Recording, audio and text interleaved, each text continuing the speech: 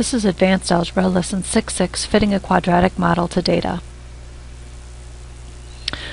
We're going to explore quadratic regression. It fits a model of the form y equals ax squared plus bx plus c to data. To get a specific model for the data, we need to solve for three unknowns a, b, and c. Quadratic regression is like linear regression in that it finds the model with the least sum of squares of differences from the given data points to the values predicted by the model. And remember, as we studied in, in chapter 3 when we were looking at linear regression, this will not be a perfect fit for our data, it's just a model. The first method we're going to use is, is doing it by hand, and we, as stated above, we need to solve for A, B, and C. And if we know three or more points that are on our parabola, we can do this.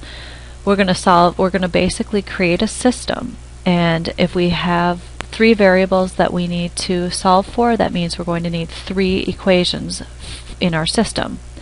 So we need to have at least three points on our parabola in order to find a model for this parabola. So first of all, we're going to substitute each ordered pair into y equals ax squared plus bx plus c. So you need three pairs. We're going to write the result of that step one as a system of three equations. We'll solve the system. So then when we solve the system, we'll know values for A, B, and C. So we'll use the solution of the system to write an equation for our parabola, and then we can check it using our three given points.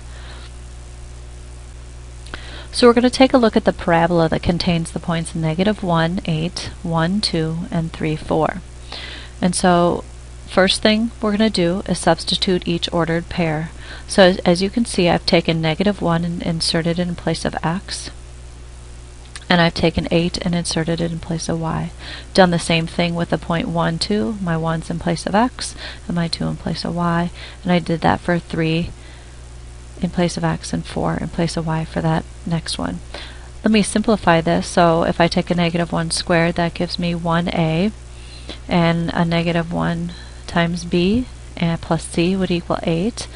1 squared is 1, and I have a 1 here, so that makes my equation 2 equals 1a plus 1b plus c. And then if I go down to the bottom one, 4 will equal 3 squared, which is 9a plus b times 3 plus c. So as you can see here, I have my system. And we're going to solve my system.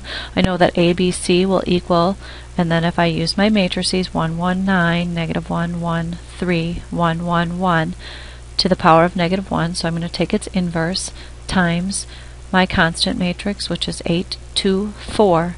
It gives me a value of 1, negative 3, 4. So now I'm going to take these values that I found for A. I found that A equaled 1, B equals negative 3, C equals 4.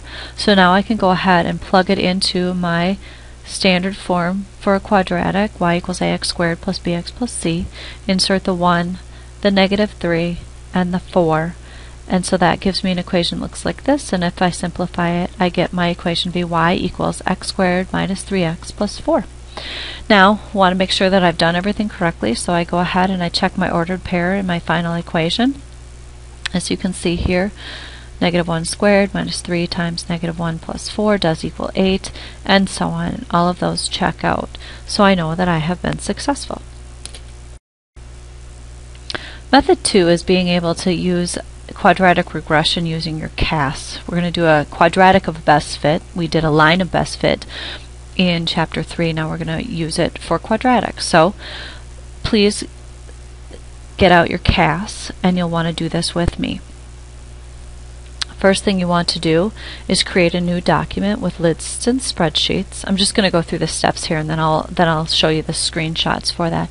So create a list and, and spreadsheets. You're going to enter your independent and dependent variables. Then you're going to go to your home page and get a new document of data and statistics. Put those on the independent um, the independent variables on the horizontal and the dependent on the vertical.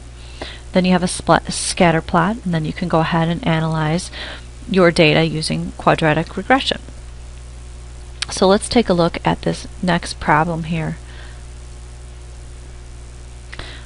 This problem that we're going to look at deals with ice sea ice near the North Pole during February of each given year.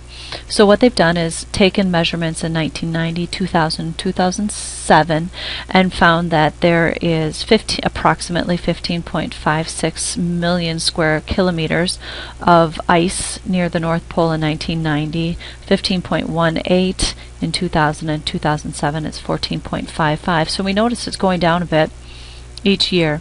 So we're going to create a model and then what we want to do is predict what it's going to look like or what's the quantity of ice in February of 2020. So if you follow the steps from above, the first thing we want to do is go to your home page and get a new document. We want to do lists and spreadsheets. We want to, in section A, or column A here, we want to put years and make sure you're doing it above the diamond line. Then B, you want to put extent, and then enter your three data points. Remember, you want to enter, press enter after you've put in 14.55 because if your square is around this, your calculator will not recognize that data entry. So you want to make sure your square comes down here. So you'll enter your data. Then you'll want to go home again and hit data and statistics. I believe that's number five.